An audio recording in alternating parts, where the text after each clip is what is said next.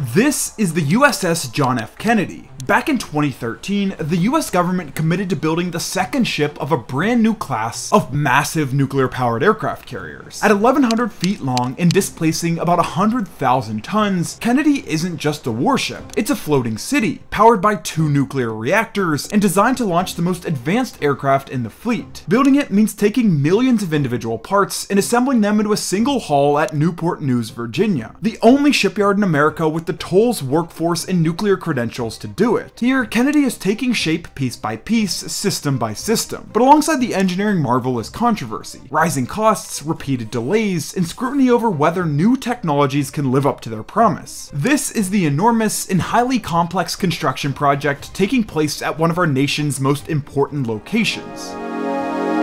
The story begins in Virginia, where the James River meets Hampton Roads. Newport News Shipbuilding's Dry Dock 12, originally designed for commercial hauls, is over 2,100 feet long and roughly 250 feet wide, giving the yard the footprint to assemble superlifts for a carrier and still move the dock gates and caissons as flooding and float off phases begin. The yard's 1,050 metric ton Big Blue Gantry crane looms over that basin. It was upgraded in 2008 and has handled the heavy picks for every US carrier built at Newport News since the 1970s. Those two pieces of real estate, the dock and the crane, govern the geometry of the entire build. How big each block can be, how many device packages can be pre-installed, and how much structural and systems work can be finished before the lift. They also let the yard reduce the total number of lifts, which cuts alignment and welding hours at the dock. For Kennedy, the plan targeted about 445 lifts, which is 149 fewer than the final older generation ship. Before getting deeper into the build, there's something important to note. The Ford class is a rethink of the proven Nimitz template, an advancement of almost every system on the carrier. The island was shifted aft and the flight deck reworked to improve aircraft flow, while automation and smarter layouts target smaller crews and lower maintenance. The first of the class, USS Gerald R. Ford, or CVN-78, was delivered in 2017. Kennedy is the second, slightly more advanced iteration. Modular construction is the backbone. Steel plate arrives, is blasted and primed, and becomes units that are joined in shops into subassemblies, with foundations, stiffeners, and penetrations already cut. Those are welded into modules, which are then outfitted with miles of pipe runs, cable trays, and equipment foundations before they ever see daylight. The heavy lift choreography is painstaking. Consider the 932 metric ton lower stern, 30 individual units pre-joined, containing the steering gear rooms and power distribution space, set in place by a rigging team of roughly two dozen specialists in about an hour after days of preparation,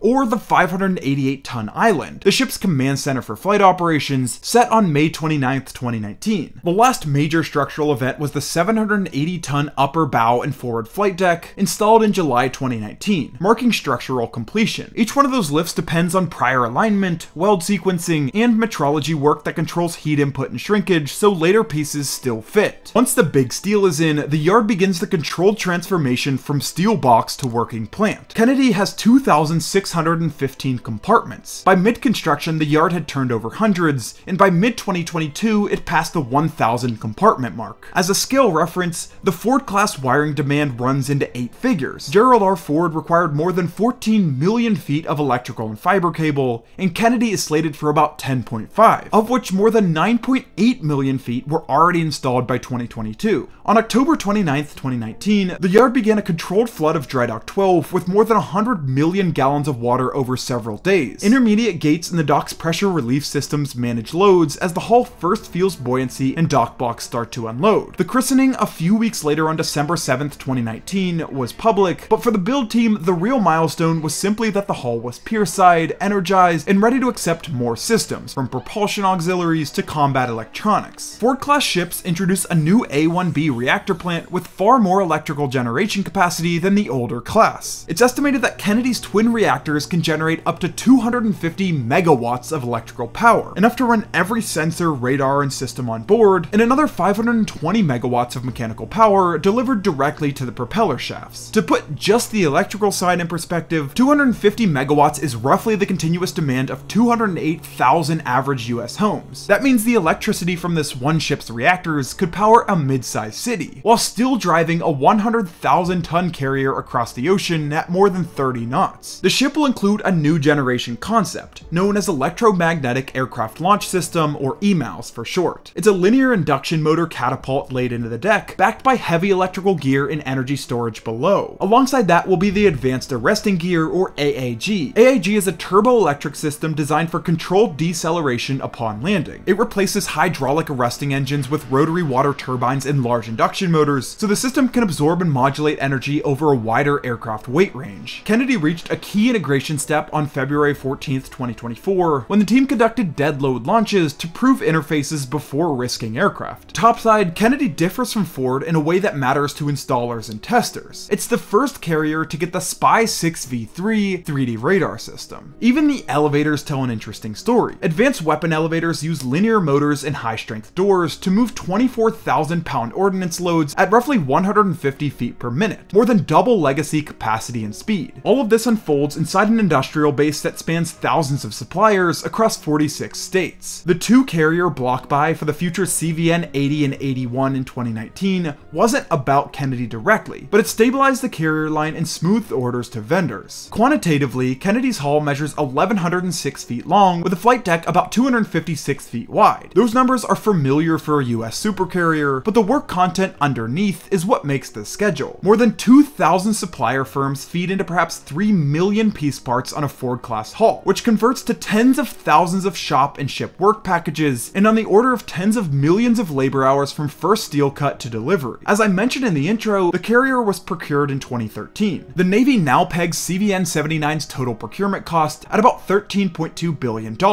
and its delivery for March 2027. This was after shifting from a two-phase plan to a single-phase delivery to meet Congress's 2020 mandate that the ship be F-35C capable before post-shakedown work. The schedule move, originally July 2025, reflects the critical path on advanced arresting gear certification and continued work on the advanced weapons elevator, the same technology family that complicated the lead ship. Carriers are still a pillar of US force design. By law, the Navy must maintain not fewer than 11 operational carriers, and its force structure goal still calls for 12. This is because a nuclear carrier is a sovereign, mobile airfield that can surge combat power, signal in crises, and provide humanitarian response without host nation permission. Kennedy's delay briefly drops the force to 10 hulls, which is why Congress keeps this specific carrier under a microscope. In short, the controversy is about cost, capability, and timing. The strategic rationale is about persistent reach, deterrence, and keeping the statutory floor intact. In the end, the USS John F. Kennedy is more than steel and reactors. It's a test of whether the Navy can turn lessons from Ford into a smoother, more capable build. Its $13 billion price tag and repeated delays make it controversial, but the payoff is a carrier with unmatched power margins, modern flight systems, and the potential to serve for half a century. When it finally joins the fleet, Kennedy will stand as proof of what it takes, and what it costs, to build a modern, advanced floating city of this scale. At Build Core, we're building America, one story at a time. We cover some of the most impressive and headline-grabbing projects and topics across this great country. And with your help, the channel has grown to over 50,000 subscribers and reached over 10 million people. With that being said, thank you, and I'll see you next time.